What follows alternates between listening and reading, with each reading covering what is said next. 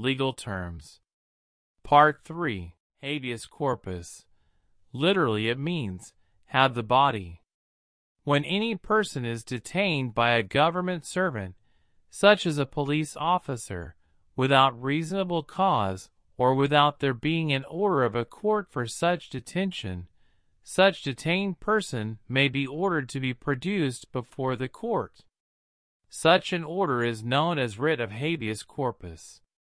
The writ is one of the safeguards of personal liberty, which may be taken away by public restraint. Hearsay. This term is used in evidence. Hearsay evidence means evidence given by a witness on matters heard by him from someone else. Sometimes, the term hearsay means whatever a person is heard to say, and sometimes it means whatever a person declares on information given by someone else. It is otherwise called second-hand evidence. Usually, such hearsay evidence is not admissible in courts. Homicide. Homicide literally means killing of a human being. If a human being is killed by another human being, it is called murder. Homicide may be either I lawful or 2 unlawful. Again, unlawful homicide is of two kinds A. Murder and B. Culpable homicide not amounting to murder. An act of killing done with the intention to cause the death is called culpable homicide. In forma pauperis, it is a privilege accorded to an indigent person, also called pauper, who is unable to pay the required court fees to institute a suit to enforce his civil right. A person who has no means to pay court fees to institute a suit may be allowed by the court to institute the suit without paying the required court fees, provided he is able to convince the court that he has no means to pay the required court fees. If he institutes the suit without paying court fees, he is said to have filed the suit in forma pauperis. In camera, the judge's private room is usually called camera. Sometimes, cases of such nature where a little amount of privacy is thought fit by the court the court may permit to conduct such cases in his private room, or the judge may direct all persons except the witnesses, parties to the suit and the counsel, who are to examine those witnesses, to leave the court hall, and in such a secluded court hall, the cases may be conducted. Such proceedings are called in camera proceedings. In limine, this term means at the outset. If any case deserves to be dismissed without calling for any evidence on the fact of it appearing to be bad case, then the dismissal of such a suit is said to have been dismissed in limine. Injunction.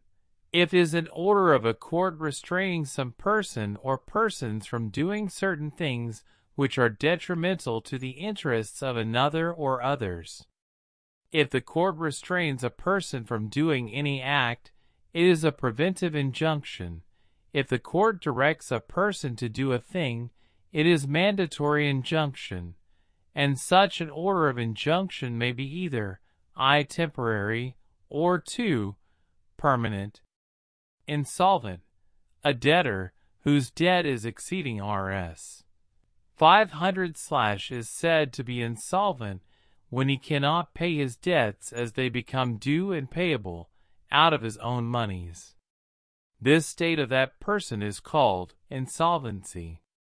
Any person who is proved to have done an act of insolvency may be declared as insolvent by the court.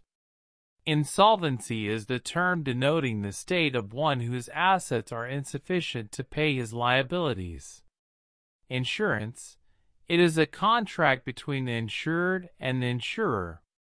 By such a contract, the insurer undertakes to pay a certain sum of money to the insured in case an uncertain future event does happen or does not happen.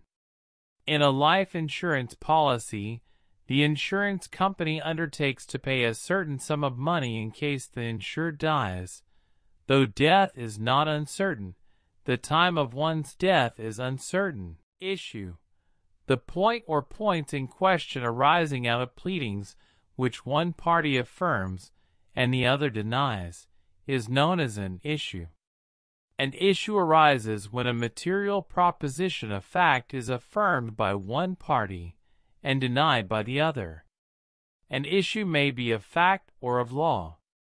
Facts at issue mean the matters which are in dispute and which have to be decided by the court. Judgment. The decision of a court pronounced in a legal proceeding is called judgment.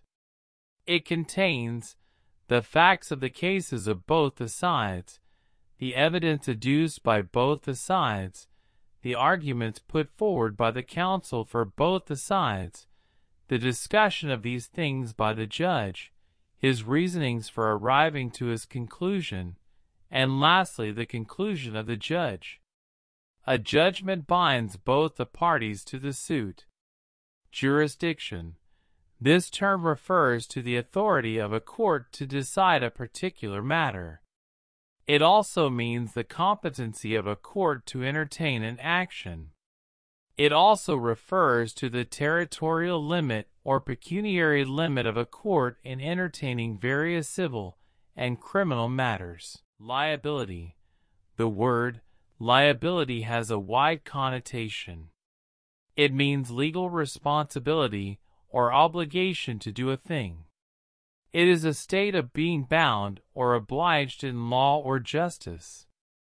In civil law, the term liability indicates the obligation to do, pay, or make good something. In criminal law, it means and covers every punishment to which a man subjects himself by violating the law of the land. License it is a permission given by one person to another to do in or upon the immovable property which would, but for such permission, be unlawful. A license is strictly personal.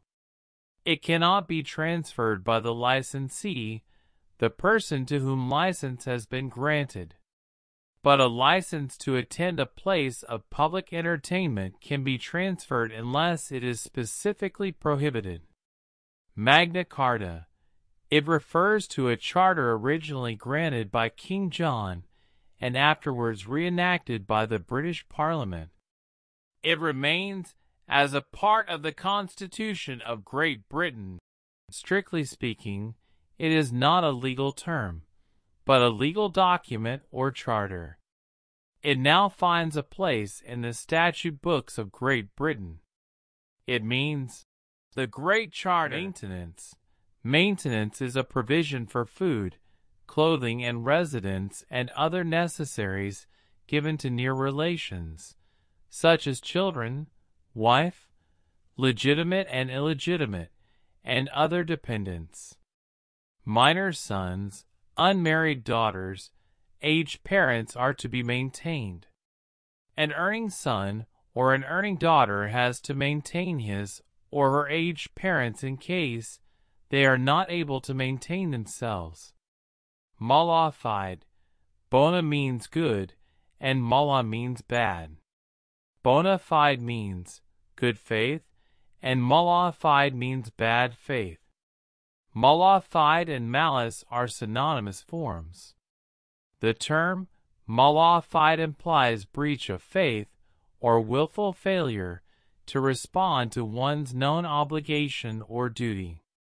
An act done without good intention is said to have been done mala fide. Minor. Minor is a person who has not completed the age of 18 years.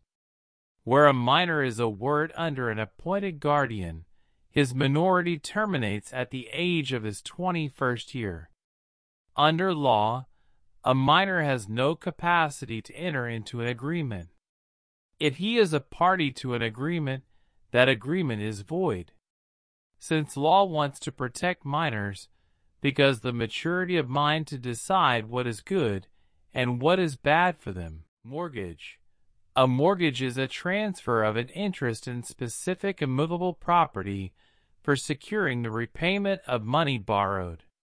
Where a debt is raised on the security of an immovable property, the transaction is known as mortgage. The person who borrows is called mortgager and the person who pays money is called mortgagee. Murder Murder is merely a particular form of culpable homicide. Every murder is a culpable homicide, but every culpable homicide is not a murder. In murder, death of the victim is caused by an unlawful act done with an intention to cause death. The victim must be a human being. If the victim is an animal, it is not a murder. Natural justice. It is opposite to legal justice. In rendering legal justice, strict legal rules are observed. In natural justice, the conscience is invoked and not legal principles. Rules of natural justice are not codified, but they are principles ingrained into the conscience of men. Natural justice is the administration of justice as a common sense or liberal way. It flows from natural ideals and ends in human values, necessaries. Necessary means what is indispensable, needful, or essential. Necessaries is a relative term. What is necessary to one person may not be necessary to another person. A car is a necessary for a medical doctor, but is a luxury for a ministerial servant. The things which are needful for the very survival of a person are called necessaries. Negligence. Negligence is the absence of such care, skill and diligence as it was the duty of the person to bring to the performance of the work which he is said not to have performed, where the diligence is required, and that amount of diligence has not been exercised. It is negligence. The omission to do an act which ought to be done, the commission of an act which ought not to be done, is negligence. Negotiable instrument. A negotiable instrument creates certain rights in the person who is in possession of the instrument. It can be easily transferred, negotiated. There are certain presumptions attached to a negotiable instrument. An instrument to be called negotiable instrument must be transferable by mere delivery of it or endorsement and delivery of it. If it is delivered to another person, all rights the person hitherto has been enjoying on the instrument are transferred to other person. Checks, bills of exchange, and promissory notes are a few negotiable instruments.